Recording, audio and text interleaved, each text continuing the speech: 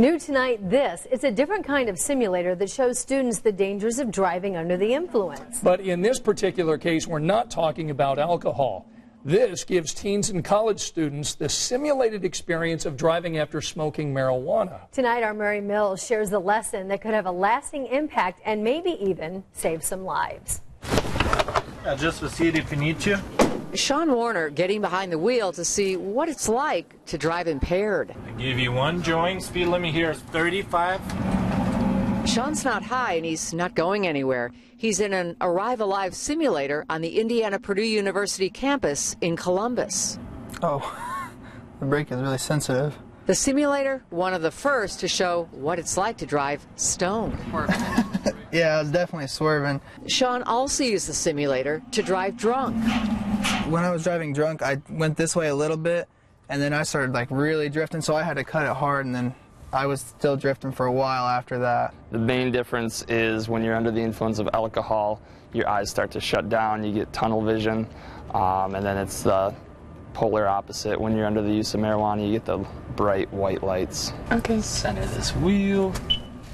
Jamie Boswell also went for a spin. At a .11. First, driving drunk.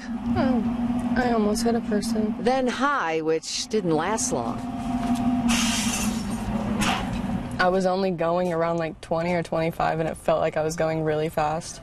She and Sean say their test drives were eye opening. Because a lot of people think it's okay to drive while high. They don't think it's that big a deal from what I've seen. And if it's like that, it's definitely really hard. So I tried the simulator. Have to say it seemed a bit exaggerated in its movements, but the whole point here is really to give students a chance to see what it's like before getting behind the wheel and driving impaired. In Columbus, Mary Mills, Channel 13 Eyewitness News.